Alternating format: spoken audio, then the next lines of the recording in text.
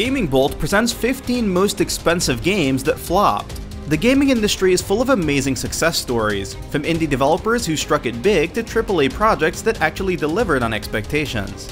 Not every game can be a breakout success though, even with millions of dollars invested in it. And sometimes, even with the biggest budget, there are some titles that just can't hide their own awfulness. Let's take a look at the top 15 most expensive games that flopped in gaming history. Grim Fandango, $3 million.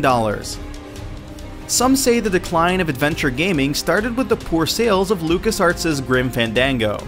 Creator Tim Schafer claims the game turned a profit despite shipping 95,000 copies at launch. Actual numbers down the line varied between 100,000 to 500,000 units, but there's no denying that Grim Fandango was a cult classic more than a mainstream success at its time. It may have not had the largest budget at $3 million, but its misfortune was still no joke. Psychonauts, $11.5 million.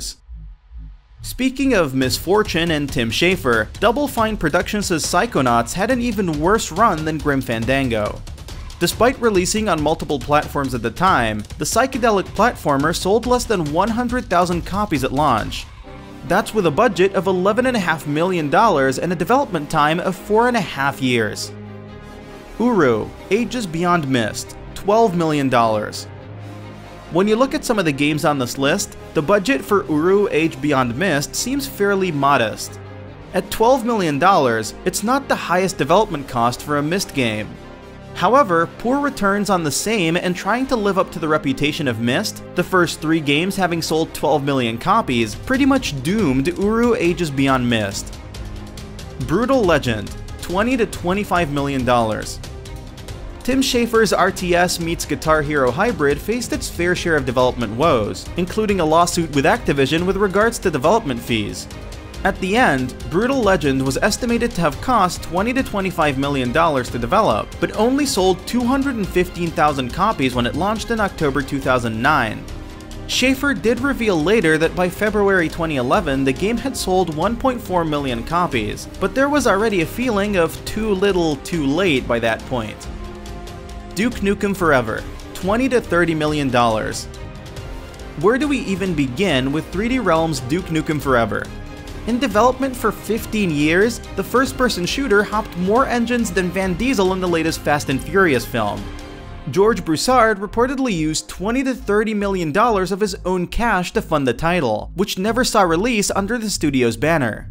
Publisher Take-Two eventually acquired the IP and released Duke Nukem Forever, only to report poorer than expected sales with 376,000 units sold in the first month. This is Vegas, 40 to 50 million dollars.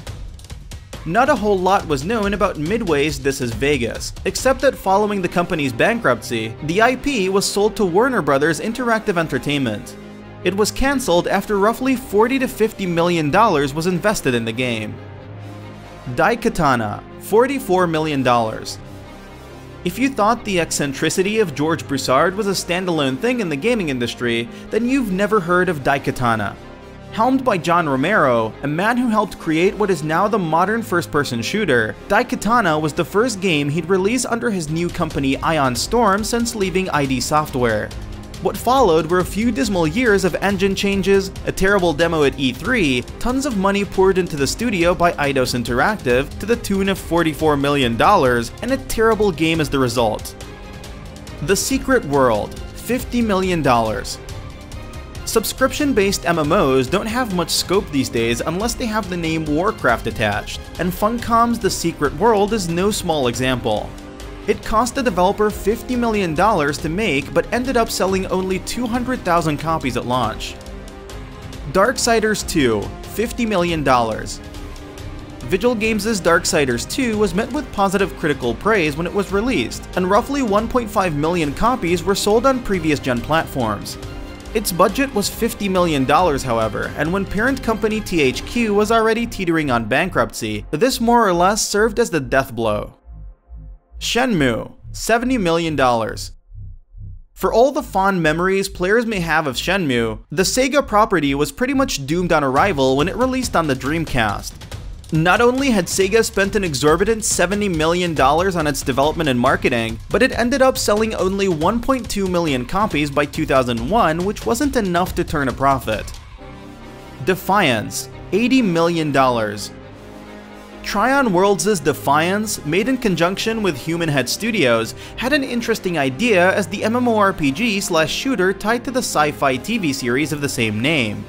Did it require $80 million for its budget, especially since it was going to be a free-to-play title? We're not sure, but neither critics nor players caught on to the game.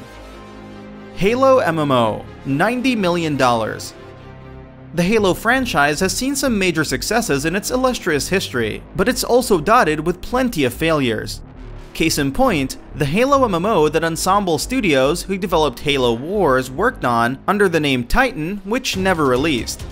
The project cost a whopping $90 million and was simply cancelled without any formal announcement by Microsoft. Too Human, $100 million. Eternal Darkness Sanity's Requiem is the game that put Silicon Knights and Denis Dyack on the map. Though Metal Gear Solid The Twin Snakes was a good port, it was too human that many of us were looking forward to as the next big exclusive from the developer. Unfortunately, not only was Too Human involved in controversies regarding Unreal Engine licensing and Dyack's own outbursts against its coverage, but it ate up more than $100 million during its development. APB All Points Bulletin $100 million.